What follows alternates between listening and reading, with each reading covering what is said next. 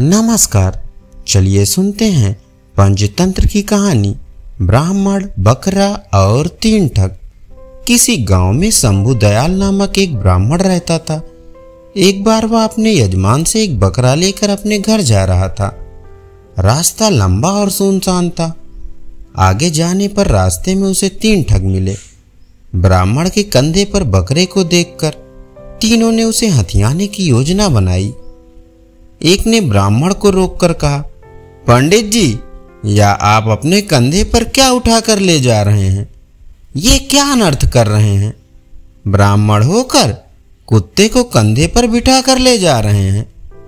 ब्राह्मण ने उसे झिड़कते हुए कहा, अंधा हो गया है क्या? दिखाई नहीं देता, ये बकरा है।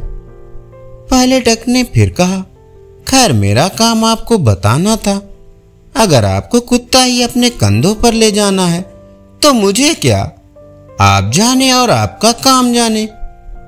थोड़ी दूर चलने के बाद ब्राह्मण को दूसरा ठग मिला। उसने ब्राह्मण को रोका और कहा, पंडित जी, क्या आपको पता नहीं कि उच्च कुल के लोगों को अपने कंधों पर कुत्ता नहीं लादना चाहिए? पंडित उसे भी झिड़क कर आगे बढ़ गया। आगे जाने पर उसे तीसरा ठग मिला। उसने भी ब्राह्मण से उसके कंधे पर कुत्ता ले जाने का कारण पूछा। इस बार ब्राह्मण को विश्वास हो गया कि उसने बकरा नहीं, बल्कि कुत्ते को अपने कंधे पर बिठा रखा है।